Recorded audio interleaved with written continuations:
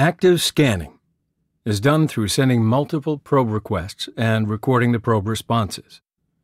Because passive scanners are limited to looking at existing traffic, they suffer in terms of overall completeness and accuracy. For example, a passive scanner can't detect an application that no one ever uses, and it can be fooled easily by a system intentionally spewing out misinformation and disinformation. The tools seen on the slide are a few examples of active scanning tools. In this course, we will examine the Nmap and Nessus tools in detail. HPing is an excellent command line oriented TCP IP packet assembler analyzer. The interface is inspired by the ping 8 Unix command, but HPing isn't only able to send ICMP echo requests. It supports TCP, UDP, ICMP, and raw IP protocols, has a traceroute mode, the ability to send files between a covered channel, and many other features. So, a subset of the stuff you can do using HPing firewall testing, advanced port scanning, network testing using different protocols, TOS fragmentation, manual path MTU discovery, advanced traceroute under all the supported protocols, remote OS fingerprinting, remote uptime guessing, and don't forget TCP IP stacks auditing. HPing can also be useful to students that are learning TCP IP. Although it's a packet analyzer tool, it's widely used for DOS, denial of service, tests, and attacks to create IP spoofed packets and send them to the target system. Let's see how we can use the hping command to scan the network simply. Go to Kali and open a terminal screen. hping 3 is embedded into Kali and defined in the path, so you can use it anywhere just typing the name of the command, hping3. Type hping3-h or hping3-help to see the detailed usage of the hping3 command. Let's look at a few parameters important for scanning mode. Under the Mode title, we have a scan mode, and the help shows a sample usage of the mode as well.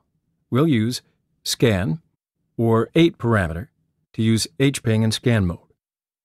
Under TCP UDP title, we have the parameters to set the flags of TCP or UDP packets. Well, you'll see the flags and meaning in this course in following lectures, so just see the HPing in action now.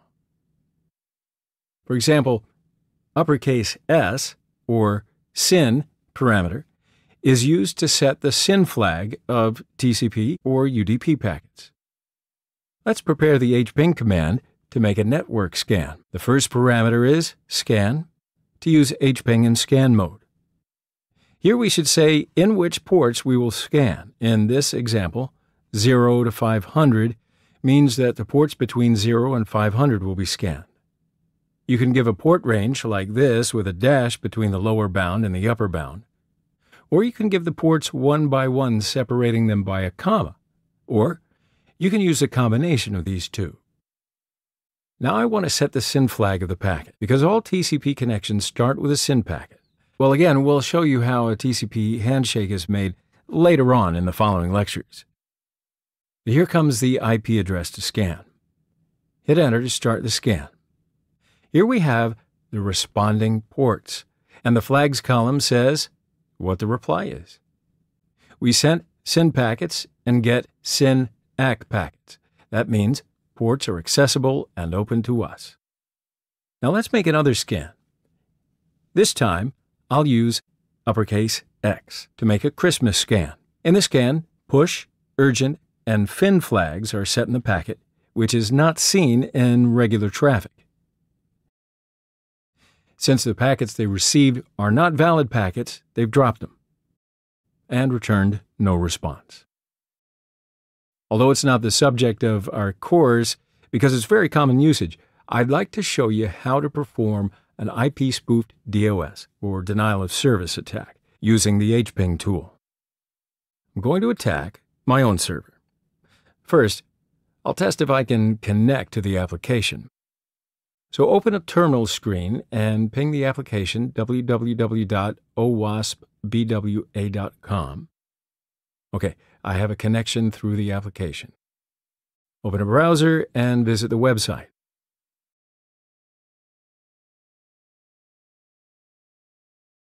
Here I click a few links to show the response time of the server. Oh, okay, it's really fast.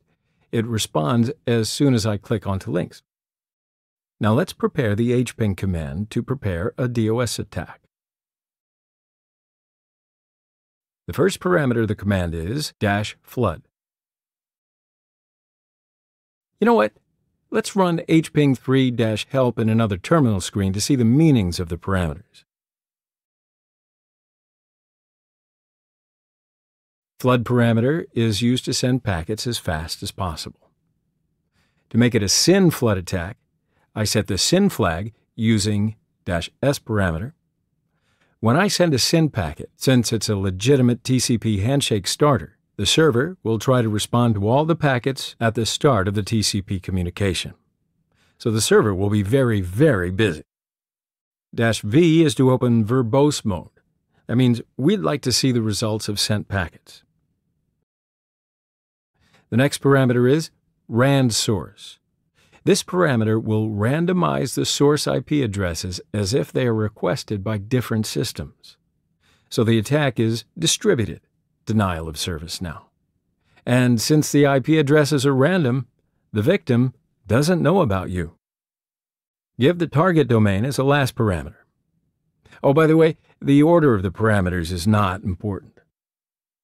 Hit Enter to start the attack. Now, because we're in flood mode, no replies is shown.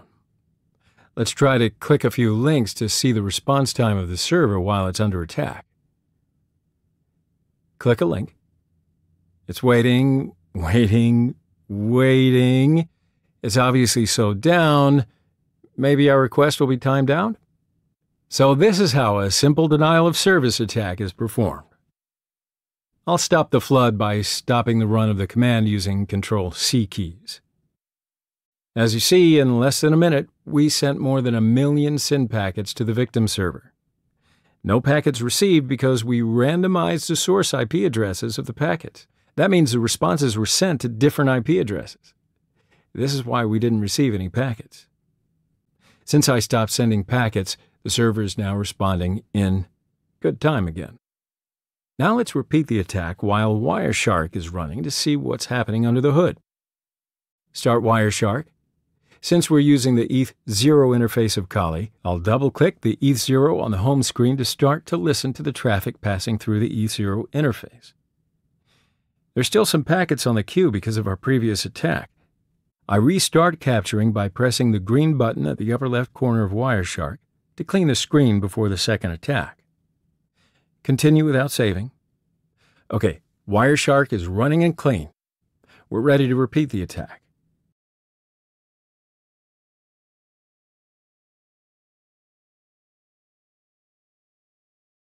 You can see the number of packets at the bottom of Wireshark. As you see, we sent hundreds of thousands of packets in seconds.